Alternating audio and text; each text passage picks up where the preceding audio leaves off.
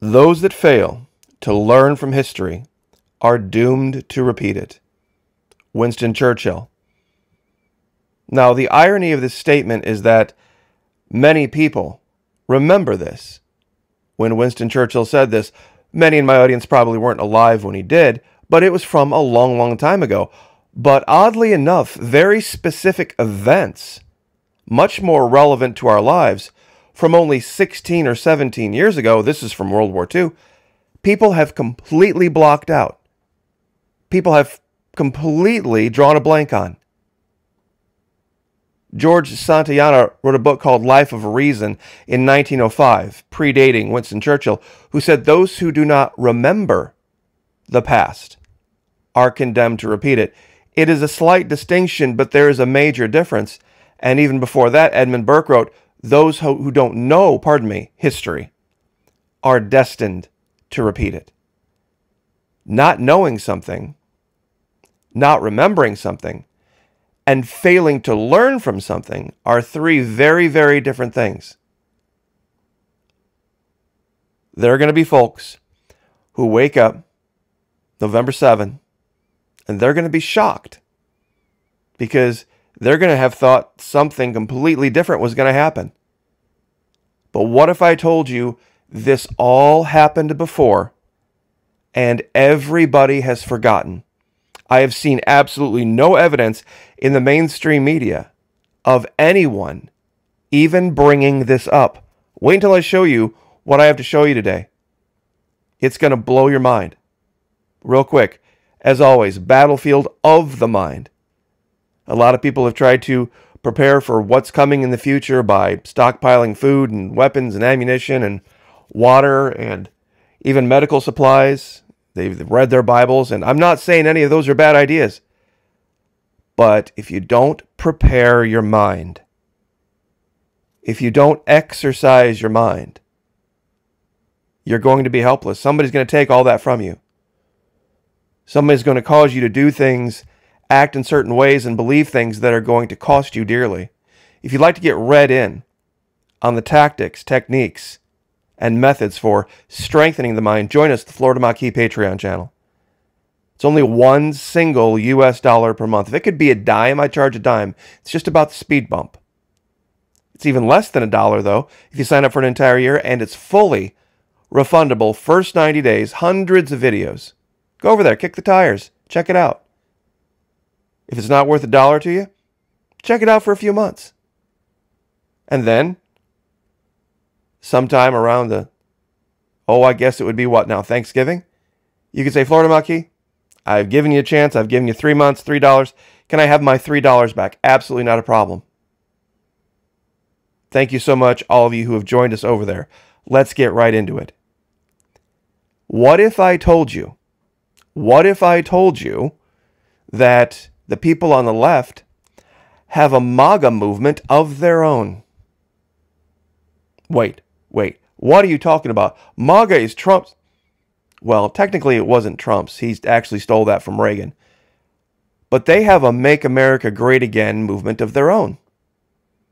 You see, for them, America was great from 2008 to 2016 when Barack Obama was president. And he is a major influencer in the campaign to elect Kamala Harris. Now, what are all of the arguments against Kamala Harris right now? She's she's an empty suit. She's uh, uh, not very bright. She's not doing any interviews. And and all of these things that say she's unqualified. Well, guess what? Rush Limbaugh, rest his soul, Quote, There's nothing to Obama, nothing but platitudes. When it's time to get to the substance, we get contradictions and confusions. We don't think that he knows what he's talking about because it's true. He doesn't. Does that sound familiar? Does that sound familiar? Rush Limbaugh again. Obama isn't just too big to fail, he's too big to know. Obama is so vital to the country and to the world, he must be kept out of the loop in order to save him from his failed presidency. Once again, did any of this move the needle? I know, I know. We'll call him a community organizer. We'll call him an unqualified community organizer, and John McCain will win. John McCain will win running away. And guess what the polls showed? This is from a research conducted on May 27th, 2008, 16 years ago. McCain and Romney were the number one, number two candidates back then. President Bush W. was getting ready to leave office. And McCain with virtually McCain Romney against Obama Webb, Obama McCain, Obama Biden, winning by double digits. Winning by double digits. McCain just and Obama by themselves plus four.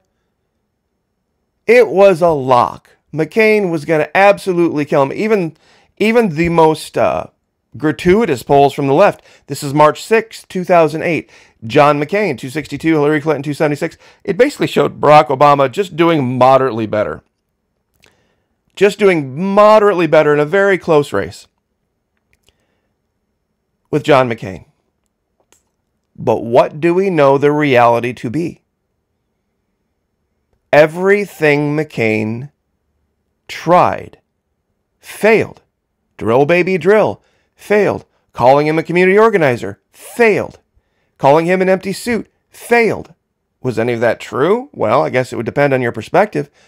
But what do we know the reality of the election to be? 365 to 173. Four years later, 2012 rolls around, and they don't learn from history. Here come the polls. Romney, far more qualified than Obama. Oh, it's been a terrible four years. 8, 9, 10, 11. Oh, it's been terrible. 51, 45. And people are like, oh, well, look, if the, if the liberal media is saying Romney's winning, it's, it's going to be a runaway. It's going to be a runaway. This is a Chandra Puch. This was a Cal State Fullerton showing Obama, and this is super liberal area, showing Obama 51.8, Romney 48.1. Very close race. I know, I know. Here's what we'll do. Here's what'll win. Here's what will get people to wake up and and defeat Barack Obama. We'll call him a Marxist. We'll call him a Marxist. We'll we'll tie him to some very controversial figure, Jeremiah Wright. That'll do it. That'll do it. We'll even get the, the pretty hotties in the tight little dresses over at Fox News to talk about it. And then we'll tie him to Benghazi. That should have some relevance for you given what happened today. We'll tie him to Benghazi. Oh my gosh, this is the end of Obama. This is it. This is it. Even CNN, after the debate, Romney just crushed Obama, just absolutely destroyed him. 67% of people watching CNN thought Mitt Romney won the debate against Barack Obama. It's not even close now. It's over. But what do we know actually happened? What do we know actually happened? People woke up the next morning. The right wing pundits were just absolutely apoplectic. Lock her up. They need to be arrested. Lock her up. They need to be arrested. I'm going to share something with you. I'm going to share something with you that should make everyone wake up because it's not going to be me saying it. It's not going to be me saying it. You're going to hear Donald Trump say something that is going to blow your mind.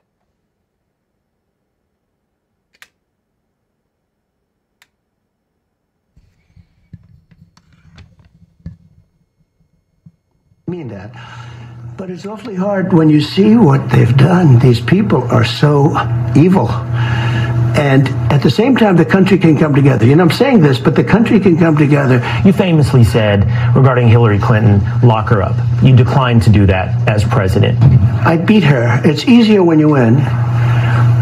And they all said lock her up. And I felt, and I could have done it, but I felt it would have been a terrible thing. And then this happened to me. And so I may feel differently about it. I can't tell you. I can. I'm not sure I can answer the question. Hillary Clinton, I didn't say lock her up, but the people would all say lock her up, lock her up. Okay. Then we won. And I say, and I said pretty openly, I say, all right, come on, just relax. Let's go. We got to make our country great. Every time I mention her, everyone screams, lock her up, lock her up, lock her up. They keep screaming. And you know what I do? I've been nice. But after watching that performance last night, such lies, I don't have to be so nice anymore.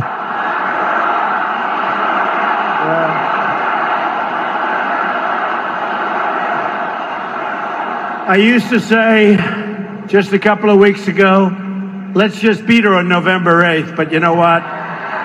You have a point. Crooked Hillary Clinton, oh, she's crooked, folks. She's crooked as a $3 bill. Okay, here's one. Just came out. Lock her up is right.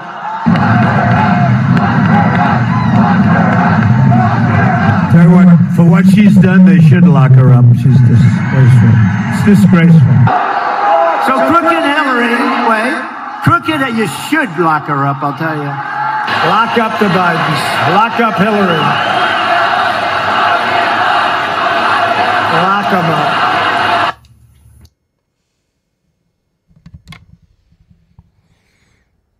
Isn't that amazing? To see the man say, I never said lock her up. I never said lock her up. And then there's the receipts. Now, I'll give you the link to this. I've shown it before, but I think I'm going to call this an assignment. President Trump leads standing ovation for the Clintons. This was after he won in 16. He talked about how honored he was to have the Clintons at the breakfast and led the entire room in a standing ovation for them. World Economic Forum. I'll give you the link to this too. That's been kind of a knock on other people.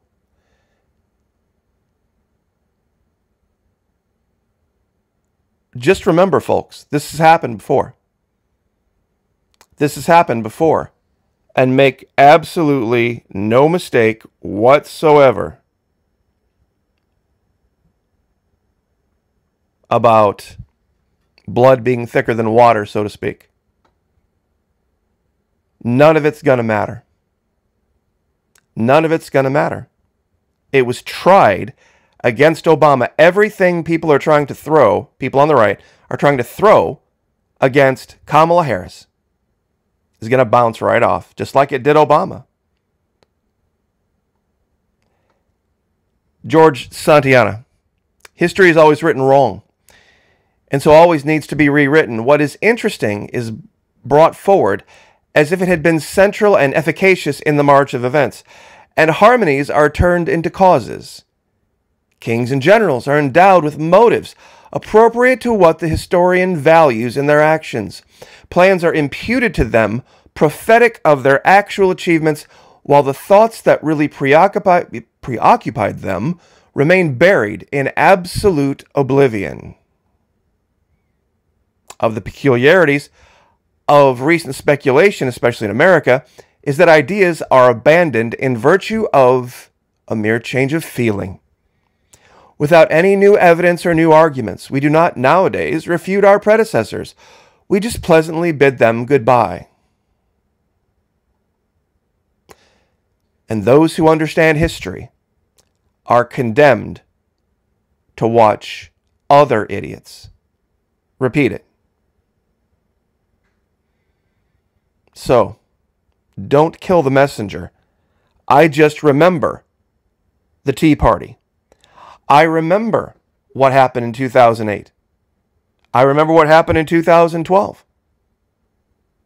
Quite clearly, everybody made the exact same arguments against Barack Obama that they are making against Kamala Harris, and they didn't work. They didn't work because you're dealing with an emotional group of people, Americans.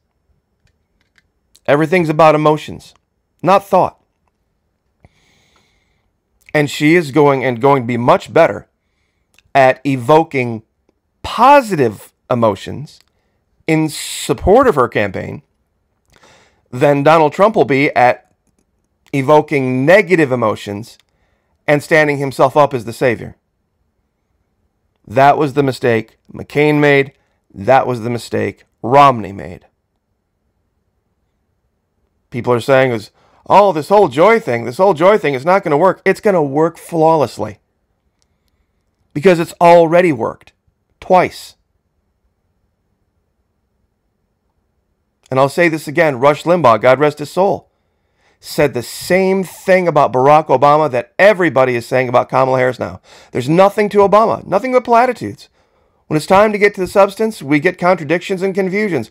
We don't think that he knows what he's talking about because it's true, he doesn't. Calling him a community organizer failed. Polling failed. No matter who it was. Calling him a Marxist failed. Attaching him to Jeremiah Wright failed. Attaching him to Benghazi failed. All of it failed. Even the debate, even the saying he lost a debate, failed. All of it failed. Because people are not learning from history. It's a popularity contest. It's a popularity contest. I'll leave it there. God bless. Pray for each other. Pray for me. I'll pray for you. And please, if you have the ability, join us.